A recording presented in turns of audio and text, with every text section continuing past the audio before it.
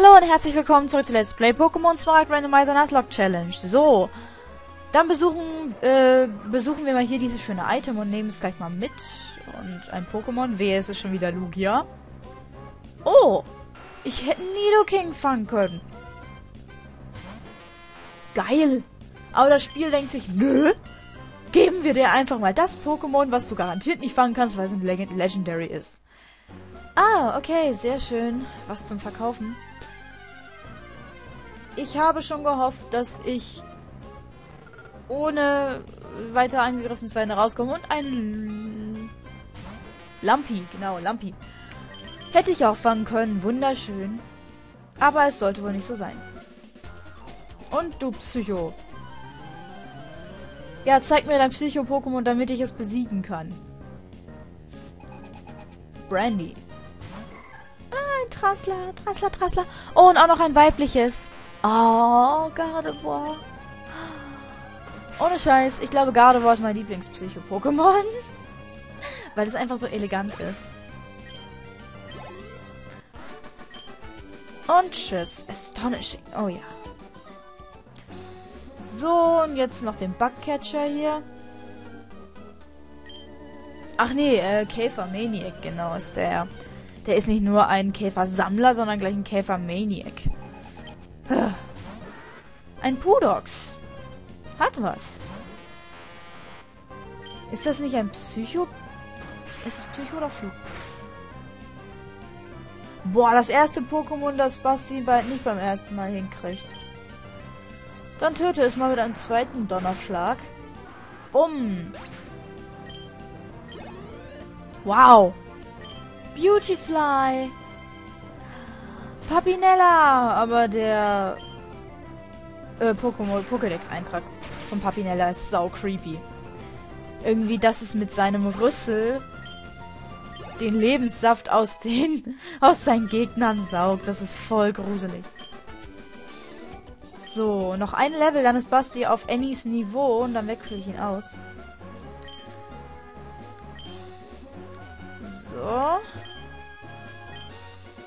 Du hast diese Blumen gepflanzt. Dann trete ich sie kaputt. Nein. Eigentlich mag ich Blümchen. Blümchen sind schön. Oh, ein Superball. Gefällt mir. Hier müsste auch irgendwo eins sein. Ah, da sehe ich schon... Ah, ein Schutz. Da sehe ich schon die Häuser von Wiesenflur. Okay. Ah, lass mich raus. Ach Gott, du bist auch noch ein Trainer. Hilfe. Ach so, ja, stimmt. Auch eine Pokémon-Züchterin. Ähm, Wingal. Möchtest du Bekanntschaft mit meinem Donnerschlag machen, beziehungsweise den von Basti? Denn ich glaube, das wird vielfach gegen dich effektiv sein. Deswegen bist du ganz schnell weg. Äh, Meryl, okay. Noch ein Job für Basti. Ja, es winkt mir zu. Tut mir ja schon fast leid, dass ich es jetzt mit einem Donnerschlag äh, besiegen werde. Und tschüss, Meryl. Tut mir leid, aber du musst jetzt all deine Pokémon freilassen, die ich besiege. Das sind die Regeln der Nuzlocke Challenge. Oh, ein Goldini, Goldini. Hallo Goldini. Darf man nur so aussprechen. Hab ich ja schon mal gesagt. Und tschüss, Goldini.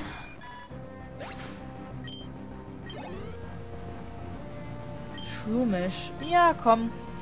Die anderen sollen ja auch mal was zu tun haben. Aber wen schicke ich da raus? Obwohl. Da lasse ich nochmal Bastin draußen. Ich bräuchte noch ein Flug-Pokémon eigentlich. Also ich würde ja Se Sepa eigentlich schon fast drin lassen und Shelly raustun und dafür, wenn ich ein Flug-Pokémon noch irgendwann kriege. Wäre cool. Roselia. Ja, komm. Shelly raus. Shelly ist gut gegen Pflanzen-Pokémon.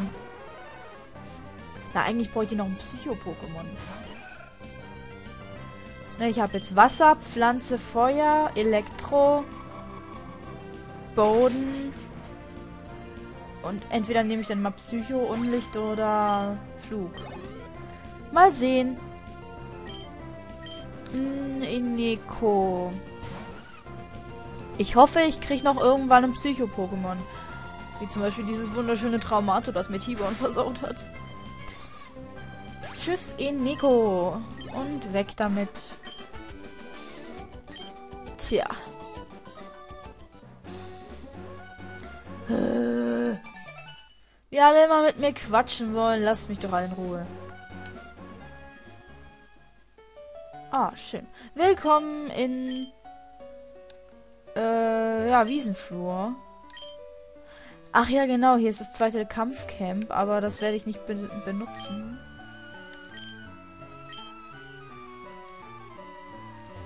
Genau, ich gehe nicht in dieses Kampfcamp, weil die ich ich mag die irgendwie nicht. Oh Gott, Zwillinge. Evergrande City, Prachtpolis, ja. Da ist die Pokémon Liga, Prachtpolis City ganz weit außen. Genau, wenn ich einmal gegen die Elite äh, Top 4 ähm, verliere, ist das aus mit der Nuzlocke Challenge. Wanda, okay.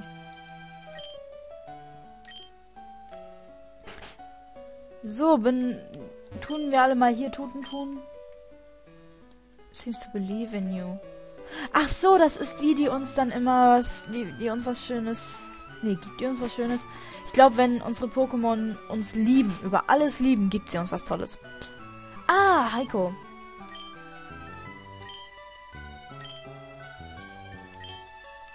Genau, Heiko wurde ja nach Wiesenflur geschickt. Und, ähm... Ja, genau. Anscheinend hat er sich gut erholt hier. Und die Tochter von denen hier, also Heikos Cousine, Ach so, die ist mit dem Typen da zusammen, der unbedingt den Tunnel fertig graben wollte.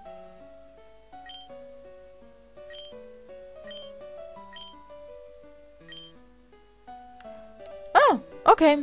Wenn du meinst, Heiko. Wenn du meinst, dann trainiere mal schön. Nein, ich wollte da nicht rein. Ich wollte nicht in den Pokémon-Markt, ich wollte in das PC. Poké Center. Äh, nee. Zornklinge will ich nicht. Ist zwar gut, aber... Äh, ja, ich kam wegen der schönen Luft. Ja. Diese alten Männer, die sagen uns immer schon alles, was wir wissen wollen. Nee. Äh, alles, was wir wissen. Okay.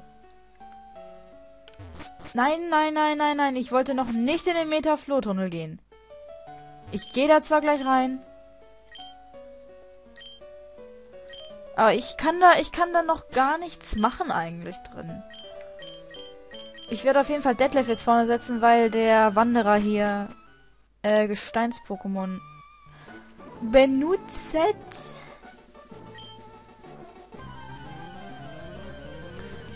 La di da, was hast du mir zu sagen, Mike? Du wirst mir einen Kleinstein entgegen, das mich anbrüllt. Dann brüll ich gleich mal zurück mit einem Blubber. So, ich werde erstmal die Frau besuchen. Die ist also die Cousine von äh, Heiko. Die ist nämlich gerade hier im Tunnel und schaut ihrem... Oh, na, endlich! Schau mal ihrem ähm, Typen zu. Endlich kann es was Besseres als Blubber. Aquaknarre. Ich bin so stolz auf dich, Detlef. Und tschüss. Ha! Endlich keine Sagwa-Knarre. Oh, oh, ich habe gar nicht gelesen. Mache. Okay, na gut. Aquaknarrin. Äh. Denkst du etwa deine Verteidigung, äh, dein Dings könnte meine Verteidigung zu sehr senken. I think not. Okay. Heika Mike. Gut. Dann werde ich gleich mal die Attacken ordnen. Endlich mal. So. So. Aquakanal ganz oben hin. Da sind sie, da sind die beiden. Ah, Max Ether. Uh, was springt uns da an? Hoffentlich kein Turtok. Ein Papinella. Im Metaflurtunnel. Interessant. Und weg damit. Ich brauche keinen, keine Butterfliege. Ah, das ist ja so süß. Oh Gott, was springt mich schon wieder da an? Ein Snobilikat. Ui. Geh zurück zu Giovanni, wo du hingehörst, du Katze. Ich meine, ich mag Katzen, aber... Was springt mich schon wieder an? Ah, diesmal ist ein Totdog. Hallo, Totdog. Level 6. Voll süß. Ein Shiggy hat sich... Das hat es aber ganz schön eilig mit dem Entwickeln, ne? Jetzt bist du eine riesige Schildkröte. So, es geht hier noch hier nach links weiter. Tu gleich Schutz drauf, ernsthaft. Nochmal ein Snobilikat, ja. So. Mal schnell fast forward gemacht. Ja, irgendwo ist hier... Genau, sind die, ähm... Ich habe da ewig gesucht mit dem Itemradar. Ähm, das Schattenglas.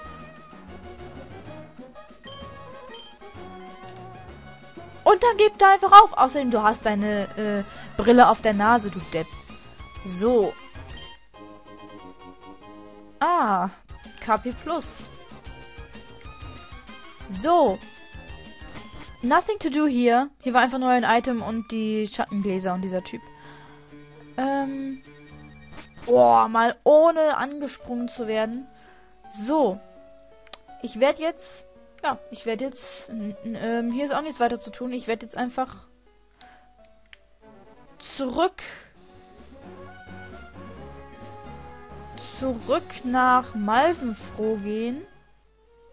Nur ich weiß jetzt nicht, äh, soll ich zuerst nach rechts? Ich fahre ich fahr zuerst mal nach rechts oder laufe. Das sieht nach einer Höhle aus. Egal. Ähm, oh Gott. Die wird äh, Pflanzen-Pokémon einsetzen, das weiß ich. Deswegen werde ich mal Shelly... Ja, ich werde Shelly nach vorne packen. Und ich weiß auch nicht, was der andere Typ da äh, einsetzen wird. Deswegen müssen wir mal gucken. Auf jeden Fall eine Aroma Lady und ein Teenager. Zickzacks. Damit kann ich leben. Oh, ich habe Basti da nach vorne gehabt. Egal. Nein, Aurora Beam hier drauf und du hier drauf.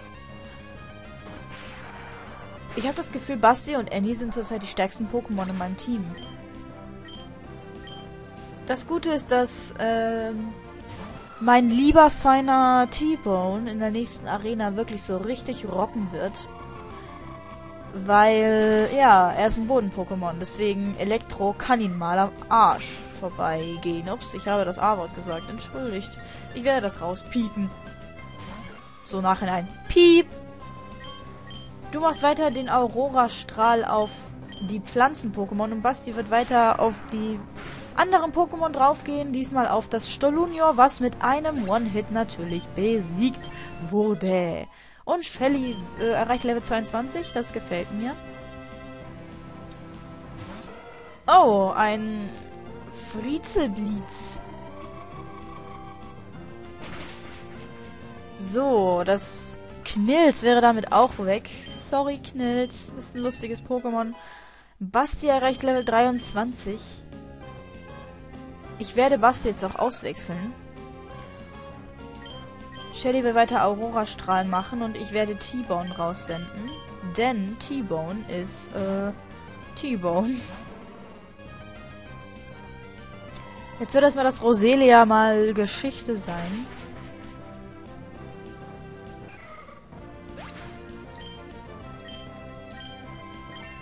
Und T-Bone erreicht auch Level 22. Jawohl. Au, du benutzt Tackle auf mich. Und wow. Der Superschall trifft mal, also mein Superschall. So, Bone Club wird auch, äh, hat auch Friezelblitz den Rest gegeben. Und jetzt, ja, haben wir die beiden hübschen Menschen besiegt. Äh, registriert mich ruhig alle. Genau, Surfer. Ich kann hier nicht weiter wegen Surfer. Ähm, deswegen ist es quasi für mich im Moment eine Sackgasse. Aber ich würde sagen, ich bleibe mal in dieser Sackgasse und werde demnächst in der nächsten Folge dann diesen Angler und diesen Gitarristen dann noch platt machen. Und ich würde sagen, wir sehen uns dann beim nächsten Mal Let's Play Pokémon Smaragd Randomizer Nuzlocke Challenge. Also bis zum nächsten Mal. Ciao.